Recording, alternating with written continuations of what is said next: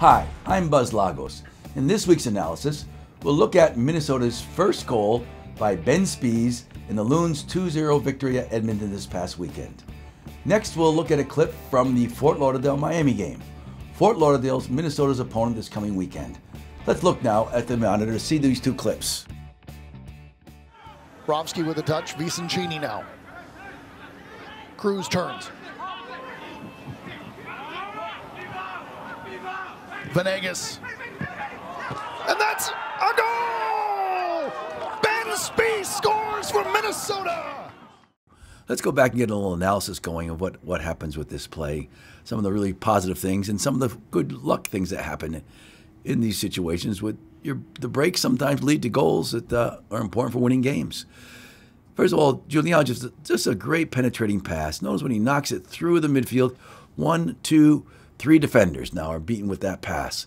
Enables Danny Cruz to make a turn and a good positive turn upfield. And we talk about the versatility of Minnesota's team. Cruz was an outside wide midfielder, tucked in the middle of the field as a midfielder right now. And why can Minnesota do, do that? Because they have such dynamic players in Kevin Venegas and Justin Davis. Kevin on the right side and Justin on the left side. So Cruz being inside opens up that channel for Venegas to fill that slot. And so Cruz makes the run forward the middle of the field. And then the second touch lets him down. Knows he's just too far away. An easy pickup for the defender.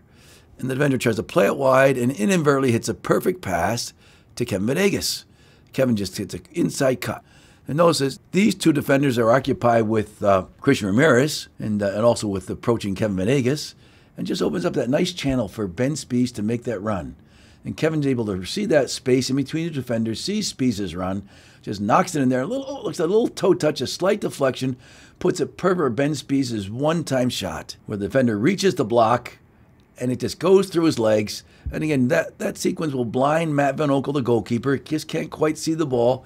And so when you see the ball tuck in the far post, Matt, Van isn't even reacting to it because he couldn't see it. It was you know blinded by he was blinded by the defender trying to block that shot, which the defender should try to do, but Speas was able to just cut it back enough and just knock it through the defender's leg to get a, get a great goal and a nice sequence overall.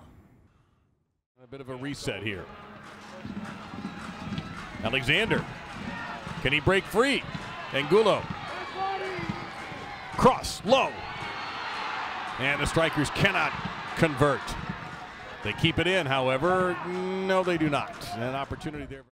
So now let's uh, take a look at Minnesota's opponent this coming weekend, the Fort Lauderdale Strikers. Uh, in this play, we see uh, Fort Lauderdale's Hernandez with the ball, getting his head up, you know, lots of space, lots of time, and he touches the ball inside, and he's going to look for a nice penetrating pass. And those again, the, the, the, penetrating pass, he's able to split the two defenders, and that one pass beats these two defenders to Alexander. Alexander's able to take a turn, run right at the heart of uh, Miami's defense. It's kind of crowded there. He also doesn't want to play the ball forward at this moment because he's worried about player being in the offside position. So he decides to get it wide and stretch out the Miami defense. So he knocks the ball wide.